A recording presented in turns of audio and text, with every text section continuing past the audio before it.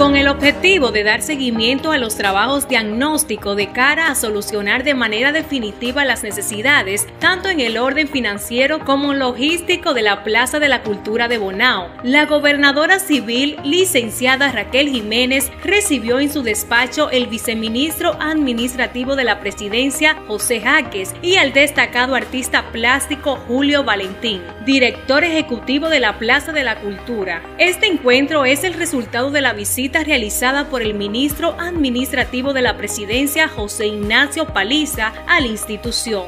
Debido a las gestiones que viene realizando la gobernadora civil Raquel Jiménez al conocer la situación económica por la que atraviesa la Plaza de la Cultura, la gobernadora civil agradece al presidente Luis Abinader y al ministro Paliza las atenciones que están prestando a la Plaza de la Cultura y su interés, además de restablecer el presupuesto, de ampliar los y resolver otras necesidades. Al viceministro le acompañó un equipo técnico de primer nivel de su cartera y se estableció una próxima reunión para utilizar detalles de otros alcances de esta iniciativa en el sector cultural. En Monseñor Noel estamos cambiando.